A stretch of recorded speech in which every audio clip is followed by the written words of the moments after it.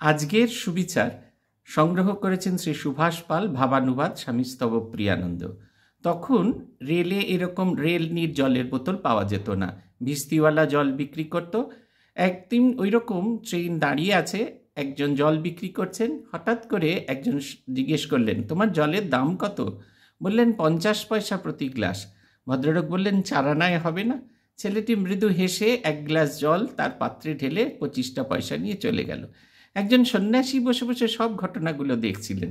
তিনি তাড়াতাড়ি করে থেমে থাকা ট্রেন থেকে নেমে ছেলেটিকে ধরলেন এবং জিজ্ঞাসা করলেন, জল বেচা তো তোমার পেশা, তাহলে দরাদরি করলে না কেন?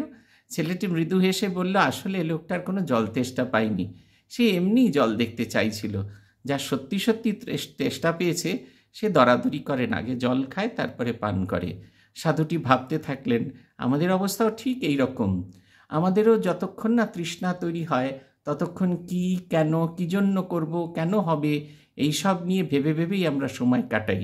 আর যেখান থেকে শুরু করেছিলাম দিনের শুরুতে, সেইখানে গিয়ে দিনের শেষ করি।